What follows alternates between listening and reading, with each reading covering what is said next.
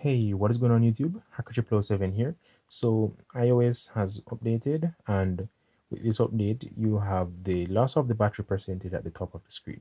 So in this video, I'll be showing you guys how to enable or how to be able to see your battery percentage on your iOS 15. So you could simply see your battery percentage by pulling down on the control center. So that is one way to see your battery percentage However, in this video, I'll be showing you another way in which you'd be able to do this.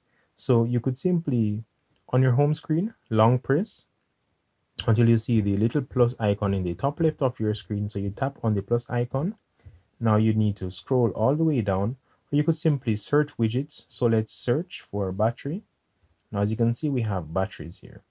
So this is the one we'd want to find. We would want to find this option, the one with the percentage and we would add this to our home screen.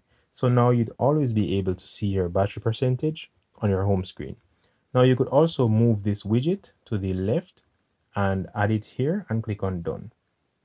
So once that is done, you could simply swipe left and you'd be able to see your battery percentage with ease. So you could either add this to your home screen or you could add this to the widgets panel to the left.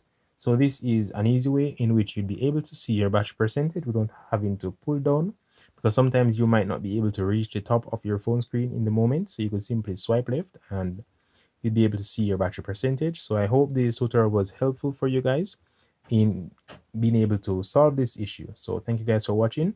Hacker Pro 7 out.